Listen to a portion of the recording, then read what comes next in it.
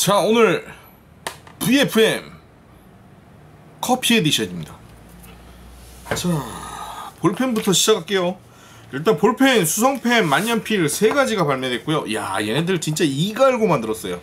쉐퍼가 이제부터 아 죽지 않아 쉐퍼. 일단은 케이스부터 많이 달라졌습니다. 그래서 어, 받으신 분들은 딱 열어보는 순간 야 이거 커피 에디션 이번부터 좀 잘 만들었구나 이게 보이는 게 일단 볼펜부터 보여드릴게요. 볼펜 수성펜은 간단하게만 하고 넘어갈게요. 일단 그 얘는 볼펜은 포인트가 이거예요. 금속으로 된 볼펜. 그리고 클릭 방식.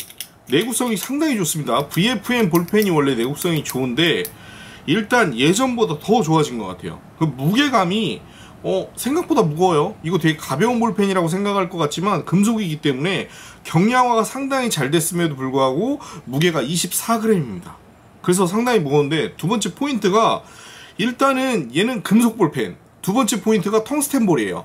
쉐퍼 전용심을 사용하기 때문에 볼펜이 다른 볼펜심엔 안 맞아요. 그냥 쉐퍼 볼펜심 구매해서 쓰시면 됩니다. 근데 국제공용처럼 생겼는데 쉐퍼 전용심이에요. 앞에가 텅스텐 볼이라는 것 때문에 거의 뭐 명품 볼펜심 하고 불리고 불리고 있었는데 리필심이 이번에 입고되면 이제 판매를 시작할 거예요. 왜냐면 이전에 있던 리필심은 이제 판매를 안 하려고 해요. 옛날 거라 새로 들어오는 것부터 이제 판매 시작하겠습니다. 그래서 일단은 상당히 좋아요. 볼펜 자체가 커피 edition에서 뒤에 이제 이렇게 커피잔 모양 보이고 matte 재질로 마감하고 컬러 자체가 이제 약간 아메리카노보다는 약간 카푸치노 느낌이긴 한데 커피 edition입니다. 안에 일단은 열어보시면 설명서 들어있고요. 내부에 어, 어, 설명서하고 책갈피 들어있어요. 이게 어, 커피 향기 가득한 이 은근한 향이 하, 담배 냄새 같아요. 일단 그렇습니다. 그래서 일단은 왜 커피 냄새를 좀 제대로 좀 넣지 왜 담배 냄새가 나는지 모르겠는데 일단은 그렇고요. 어우 찡하네 냄새가. 일단 그리고 수성펜 보여드릴게. 수성펜은 일단은 열어보시면 만년필하고 똑같이 생겼어요. 그래서 아 볼펜도 여기다 놔야 되는구나. 잠깐만요. 볼펜을 여기다 놓을게요. 그래야 비교가 되죠. 얘는 24g. 자, 이렇게 치우고요. 자, 볼펜 있고 수성펜. 수성펜도 똑같이 여기다 놔야죠. 자, 얘는 뚜껑 벗겨갖고 한번 이렇게 놔볼게요. 자, 보이세요? 수성펜? 일단 수성펜 역시도 경량화가 상당히 잘 된 모델인데요. 일단은 얘는 무게가 어? 볼펜보다 가벼워요. 왜냐면 구조가 단순하기 때문에 23g, 1g이 더 가볍습니다. 리필심은 뭐 수성심 국제공용으로 알고 있는데 그냥 웬만한 수성심, 국제공용, 유럽심은 다 맞을 거예요. 리필심이 아마 수성펜만 쓰시는 분들은 아시겠지만 쉐퍼 이런 뭐 크로스 이런 브랜드들의 리필심, 수성심이 상당히 쾌락적입니다. 그래서 만년필을 왜 써야 되나 라는 생각이 들 정도로 부드럽고 어, 진한 맛이 있기 때문에 쓰는 분들이 굉장히 많아요. 그래서 일단 어, 리필심 그리고 경량화가 잘 됐다는 게 이런 부분 보시면 얇아요. 금속 부분이 얇기 때문에 어, 마음 편하게 가지고 다닐 수 있는 수성펜이라고 보시면 됩니다. 그 다음에 이제 이것도 마찬가지로 어, 담배 냄새 일단은 이게 커피 냄새라고 하는데 저는 이게 담배 잎 냄새 같은 느낌이 나요. 그리고 만년필 만년필도 역시 아 담배 냄새 일단 자 안에 케이스 안에는 카트리지 두 알 들어있습니다. 책갈피 들어있고요. 자 만년필. 경량화 상당히 잘 된 모델입니다. 만년필은 몇 g일까요? 20g이에요. 자 20g인데 놀라운 점이 이제 여러가지 있어요. 첫 번째가 어, 금속 만년필인데도 불구하고 무게가 가볍다는 거. 경량화가 캡 부분 보시면 아시겠지만 상당히 잘 됐습니다. 이거 보면 거의 뭐 이게 비슷한 모델로 치면은 약간 플래티넘의 프레이저 이런 모델인데 그거 비교가 안 돼요. 사실 프레이저 쓰지 마시고 쉐퍼 쓰시는 게 나을 정도로 어, 펜 쪽에 있어서만큼은 쉐퍼가 괜찮습니다.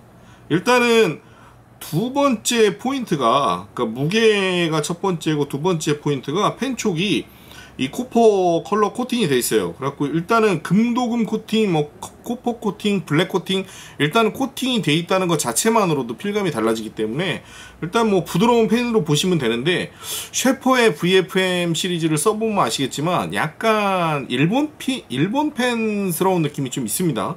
그래서 일단 저도 이제 나중에 꼭 한번 써볼게요. F촉하고 M촉 발매됐는데 구조가 되게 단순하고 좋아요. 휴대성도 좋고. 그래서 일단은 써보면 뭐 가성비 얘기가 나옵니다.